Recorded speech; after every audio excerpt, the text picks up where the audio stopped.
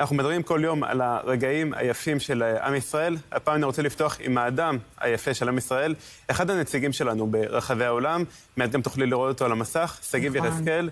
אה, הוא משחק בליגה הטורקית, הוא גם משחק בנבחרת ישראל. אתמול הוא ערך מחווה מרגשת במיוחד בעבור החטופים, כשכמו כפי שאת רואה על המסך, הוא סימן שם על כף ידו את הסימון 100 ימים לתחיל- לתחילת המלחמה, והוא קרא גם להשבת החטופים.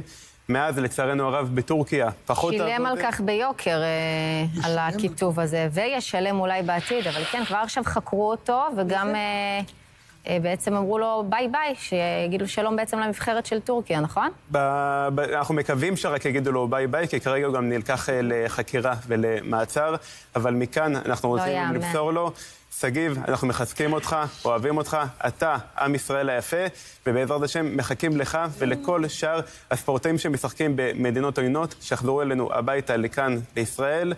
לא צריך אותם פשוט, לא צריך להיות לשחק בכאלה. וצריך להבין על מה, על זה שהוא כתב אה, 100 ימים ל-7 באוקטובר, הביע הזדהות עם חטופים, עם תינוק בן עשרה חודשים שנמצא בתוך אה, רצועת עזה, על כך הוא משלם מחיר אה, כבד כל כך, ואני מקווה שמדינת ישראל תעזור לחלץ אותו משם אה, כמה שיותר מהר.